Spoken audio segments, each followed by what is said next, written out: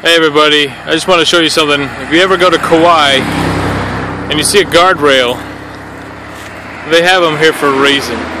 If you uh, just are driving down the road and get a little distracted,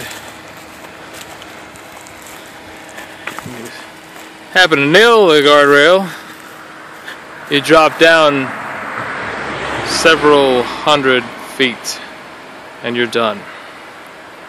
So, while this is called the Grand Canyon of the South Pacific, uh, slow down or you'll end up as part of it.